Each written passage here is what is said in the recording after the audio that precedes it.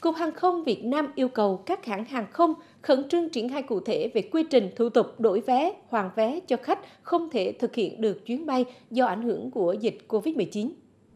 Trên cơ sở ý kiến của các cơ quan đơn vị liên quan, Cục Hàng không Việt Nam yêu cầu các hãng hàng không khẩn trương thực hiện đổi vé, hoàn vé, kể cả đối với vé có các điều kiện hạn chế đối với hành khách đã mua vé nhưng không thực hiện được chuyến bay do ở khu vực bị phong tỏa cách ly trên các đường bay hãng vẫn khai thác bình thường.